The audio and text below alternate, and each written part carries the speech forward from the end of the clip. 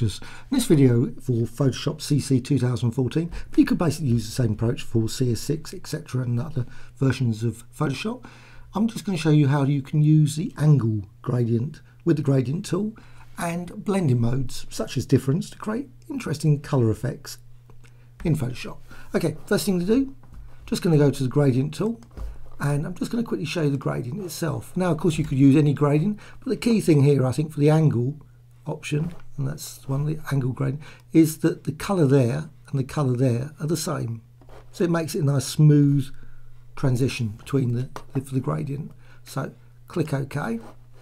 And another thing I'm just going to do before I do that, I'm actually going to create add a centre point. Shape layer, just a shape layer, a very tiny little dot, just so you can see it just there. And I'm going to go to layers. I'm going to go to background. But that just gives me an idea where the center point is. It's very hard I think if you're doing gradient multiple gradients sometimes you can end up shifting and shifting over and you're not really getting the center. Would be nice if there was a sort of gradient feature where you could actually just define that center point and just use that center point each time. So you don't have to keep going back to it just drag it out drag it out. But anyway that feature isn't there so. Now what I'm going to do, just going to go over to that center point as mentioned and just apply an angle. That's the angle there. So you can see it's a nice smooth thing. There's no sort of disjointed sort of, which is normal case for most of them. So, and you can, of course, you can move it around if you don't want that one. And you can use it, obviously tweak it. You can actually go up here, add some other color in there if you wish. Don't. Now, go to blending mode, difference. And now of course, you don't have to use blending mode of difference. You could use darken or overlay or one of the other ones. You just keep applying that. Multiple times you can make very, very nice range of different colours. Like I say, you can make add more complexity to the gradient. You can actually just go over here.